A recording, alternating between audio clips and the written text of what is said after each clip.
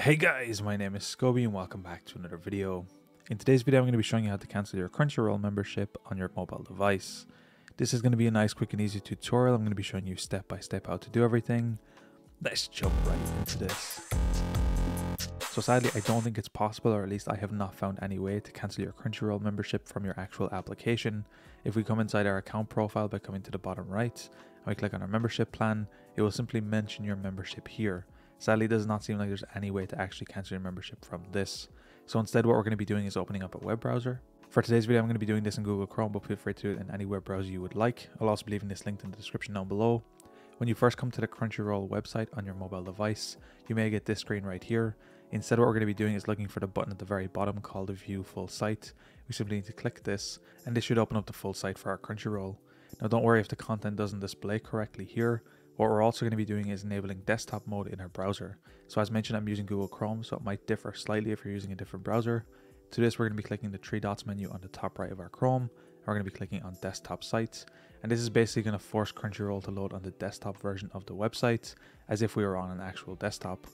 From this point, what we're going to be doing is zooming in. We're going to be scrolling up to the top right and we're going to be clicking on the login option right here. And you're simply going to have to log into your already existing Crunchyroll account.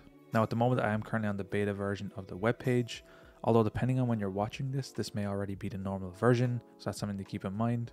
From this point again, we're going to be zooming in, we're going to be coming up to the top right, we're going to be clicking on our profile option right here, and we're going to be coming to the my account section. Once this opens up, we're going to be coming over to the left, we're going to be zooming in, and we're going to be looking for the membership plan option right here. And here's where we should be brought to the premium membership status page. Now again, you can actually log in and go to this page directly. I'll also be leaving this link in the description down below. And here's where we should see all the different information in related to the billing about our account. So what I'm going to be doing is zooming in here. And here's where we should see all the different information about our membership. We can see our current membership type. We can see our billing amount, the billing cycle, and the next billing date. And below this, we can see our current and future memberships. And here we can see that our current status is active and we can see we have a cancel option right here, which is underneath the action section. So what we need to do is simply click the cancel membership option right here, and then we'll be brought down a flow to actually cancel our Crunchyroll membership. So the first thing we will be brought to is this page where they'll mention everything that we lose. We're simply going to be scrolling down here to the very bottom and we're going to again look for the cancel membership option right here. Simply click this.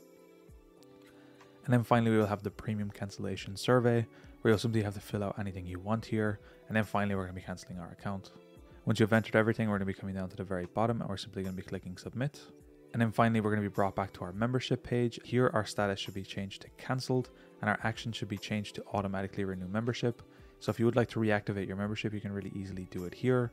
Otherwise, from this point, your account has been cancelled.